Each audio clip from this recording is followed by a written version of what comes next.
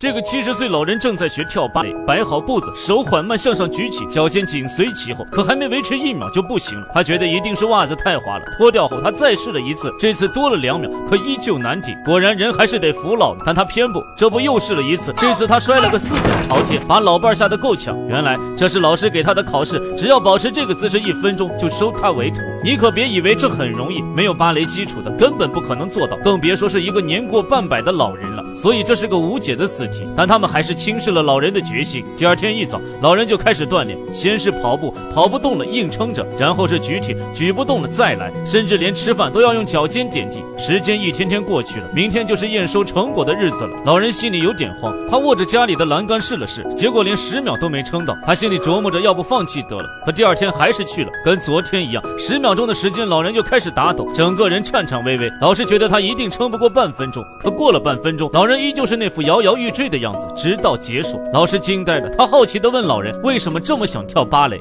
老人说。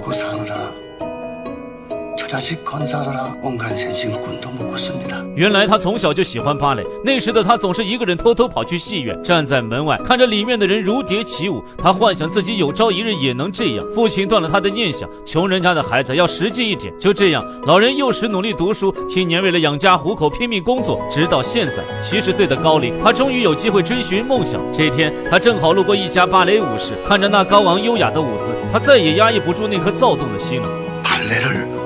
싶어서요. 起初老师是拒绝的，但老人每天都来，把整个教室打扫得一尘不染。老师心软了，于是就有了开头的一幕。但现在加入舞蹈时，还有一个要求，就是必须照看好他面前的这个年轻人。我从没见过这样的年迈芭蕾舞者，小肚腩一挺一挺的。小宋也没见过，他很不客气地替老人做拉伸动作，先是三十度，老人疼得闷哼出声；接着是四十五度，老人气喘吁吁；最后是六十度，老人不行了，整个人都麻了。虽然专业上不行，但为人处事的功夫，老人可是一流。午饭，他发现小小宋不喜欢吃胡萝卜，便悄悄用小本本记上。日常复检，老人会疯狂夸医生，让医生对小宋更加上心。就连厕所没纸了，他都会贴心的送上。早晨还提供一对一叫醒服务。这样的老头谁不烦呢？小宋烦透了，接到电话就破口大骂，结果发现是饭店老板的。店里临时需要一个送外卖的，小宋暂替了。结果正好遇见老人在店里吃饭，老人立马接过重担。这要是发生车祸了怎么办？小宋让他别闹了，一把年纪了还送什么外卖呢？谁知老人相当专业，别人送一单的功夫，他送几单。 젊었을 때 운동한 거 맞죠?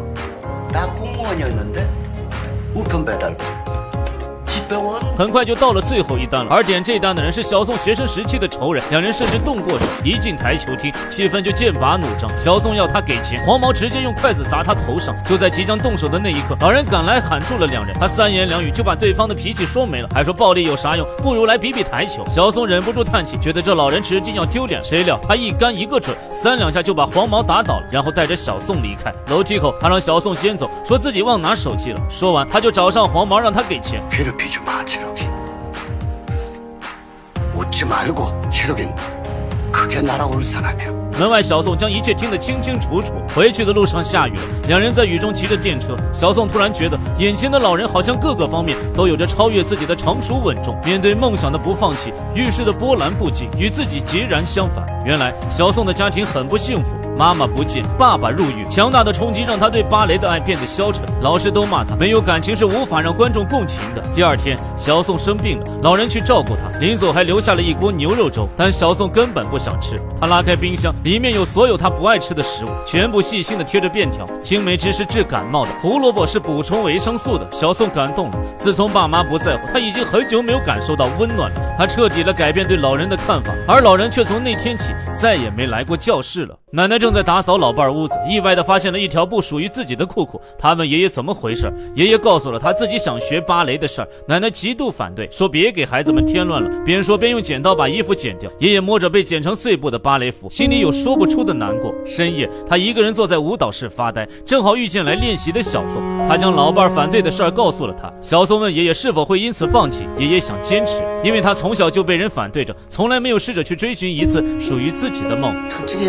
건 별로 안 무서워. 내가 진짜 무서운 건 하고 싶은데 못하는 사람이구나 说着，小宋拿过爷爷手机，让他摆那个当初耗尽力气站进了一分钟的姿势，接着拍下照片让爷爷上传。不一会儿，全家炸锅了，连忙召开了一个家庭会议，不满的声音到处都是，他们都在说别这样吧，老大不小了，让人省省心吧。没有人在意老人的想法，包括奶奶，只有爷爷还在舞蹈室一天，奶奶就不理他一天。隔天，爷爷的儿子甚至跑去舞蹈室骂人。爷爷得知后，终于放弃了，因为去找上的是大儿子。爷爷年轻时就因为没能力交不起大儿子的学费，导致他辍学在家。但没有芭蕾的日子实在太枯燥了，就好像吃饭没了盐。这天，爷爷在房里穿着芭蕾服照镜子，意外被大儿子撞见，气氛瞬间变得微妙。大儿子直接开骂：“왜제가여덟살때부터집에돈이없다는걸걱정해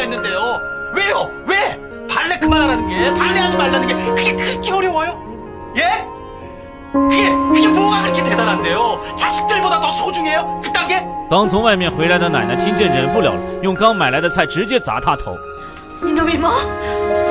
우리 아버지가 어떻게 살았는데 처자식 먹여 살리겠다고 밤낮 없이 눈밀 맞아가며 얼마나 열심히 일했는데 그딴 소리를 해 입에 단내 나게 열심히 일했는데도 잘 못 살았어 그래 우리가 그거밖에 안 되는 부모라서 미안해 第二天一早奶奶松口了。这一次她支持爷爷追梦人的一生很短暂有些梦不去捕捉转瞬即逝。爷爷这一生都在幻想自己起舞的样子但直到七十岁的高龄才有机会去逐梦。如果你对生活还有梦想请纵情燃烧愿你能在想要的时候如蝶翩翩。